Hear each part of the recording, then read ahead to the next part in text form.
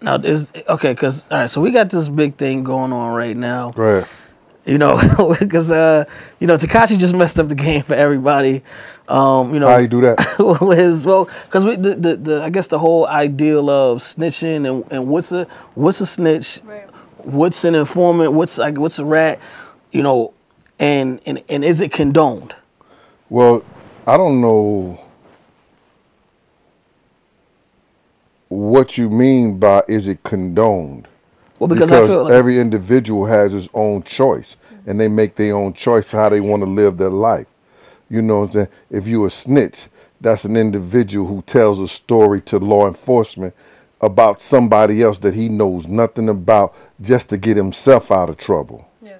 If you are a rat, you are an individual who has eaten off the same plates and dealt with the same people and y'all was in an enterprise together and you turn state evidence or federal evidence against them, that makes you a rat. so you, so if you Tekashi will be in the rat category. That's the rat category. Okay. So if you're a confidential informant, you getting paid, man. You just doing tell that's a job. Then now you got a job. You're then. working. You got a job. Oh, yeah. Also, then that don't even count. Yeah, but I'm just saying, Right. you getting a paycheck. You know what I'm saying? But don't be don't don't be fooled, man.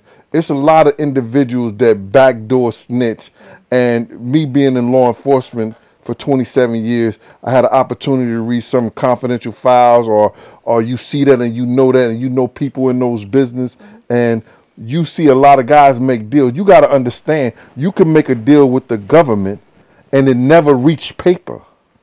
You get it? So when somebody goes to the discovery, your name won't even be in there. But how did they get that information? Yeah. You got to realize every officer starts his job behind his desk. Mm. If he gets information, somebody then told him. Right. yeah.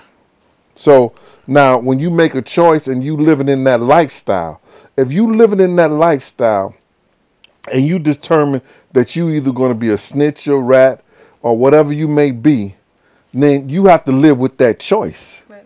You understand? That's just like if you come on my porch and you decide that you want to set up shop and sell weed or smoke or sell drugs on my porch. Either I'm gonna call the police or I'm gonna handle it myself. Yeah.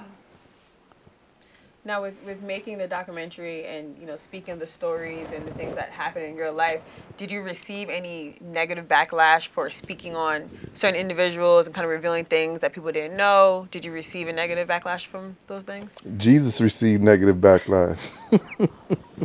That's a fact. What makes me different? yeah, You know what I'm saying? I received a lot of it. you did. You know what I'm saying? But it doesn't bother me. Okay. You understand? Yeah. When you stand on the truth, you understand? you ain't gonna fall for nothing. Right.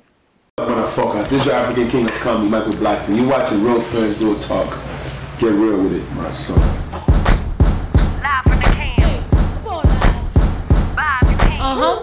This is real fans, real talk. Real fans, real talk. We as real as you thought.